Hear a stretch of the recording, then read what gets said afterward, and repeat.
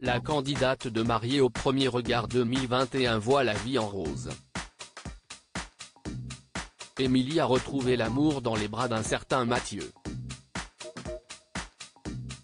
Un homme qui n'est pas un inconnu dans le milieu sportif. Si elle n'avait pas encore révélé officiellement son identité, Télé Loisirs a trouvé de qui il s'agissait. Lors de son aventure dans l'émission de M6, Émilie s'était mariée avec Frédéric, avec lequel elle était compatible à 84% mais leur fort caractère et leur vision opposée du couple notamment ont eu raison de leur histoire. Ils ont donc pris la décision de divorcer. Par la suite, la maman de Lina a retrouvé l'amour dans les bras d'un autre homme comme elle l'avait dévoilé en janvier dernier.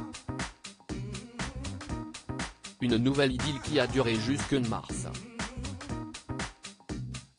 j'ai décidé d'arrêter la relation parce que je n'arrivais pas à donner.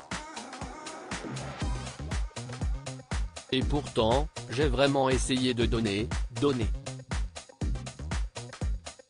Je n'arrivais pas à l'aimer, alors que cette personne, elle a tout, annonçait-elle. Mais elle a très vite retrouvé l'amour. Si au départ, elle n'a pas souhaité en dire plus sur l'élu de son cœur, elle a finalement donné de gros indices sur son identité. À l'occasion de questions-réponses, Émilie a révélé que son compagnon se prénommait Mathieu et qu'il était basketteur professionnel. Après quelques recherches, Télé Loisirs a découvert qu'il s'agissait de Mathieu Bigotte.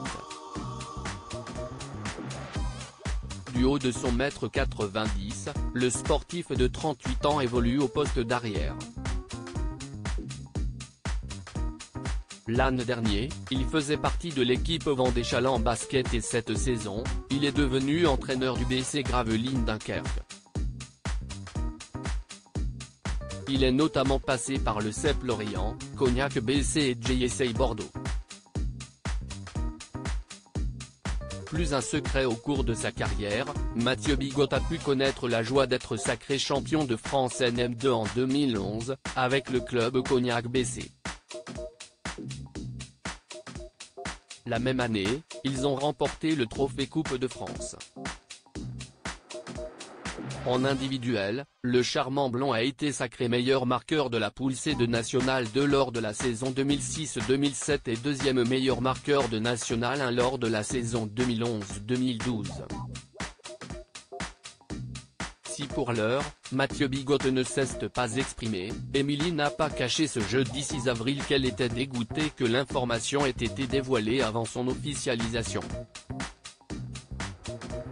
Voilà, plus un secret, a-t-elle conclu avant de partager l'article de nos confrères, sur Instagram.